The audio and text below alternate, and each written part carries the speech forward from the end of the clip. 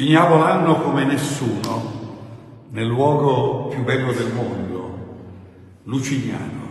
È bello perché è un paese indimenticabile, con un'urbanistica medievale che di casa in casa ti porta dentro il passato e poi è illuminato, illumina tutta la Toscana con l'albero della vita, quest'albero meraviglioso. Così Vittorio Sgarbi, sottosegretario alla cultura, noto storico e critico dell'arte in un video diventato virale sui social. L'ultimo giorno dell'anno Sgarbi si è concesso infatti un tour tra le bellezze architettoniche e artistiche della Val di Chiana con una tappa anche al Museo Civico di Lucignano che custodisce l'opera che nel 2015 fece bella mostra di sé all'Expo di Milano. E fu dominante all'entrata, chi arrivava vedeva per terra l'Italia di Gaetano Pesce e davanti quest'albero della vita, che è l'emblema stesso dell'augurio, la vita. Sgarbi di fronte al reliquiario unico al mondo risalente al XIV-XV secolo, alto 2,60 m, realizzato in oro, coralli e pietre preziose, recentemente balzato agli onori delle cronache per il ritrovamento di alcune parti trafugate, oggetto di un delicato restauro a cura dell'opificio delle pietre dure di Firenze, si è lanciato in un bilancio personale senza far mancare i suoi auguri.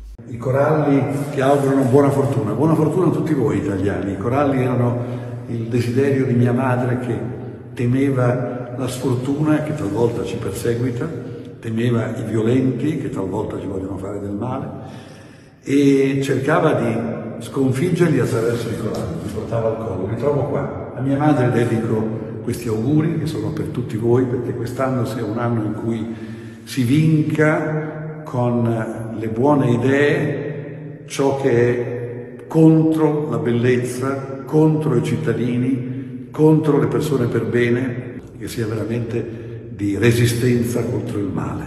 Auguri, auguri, auguri.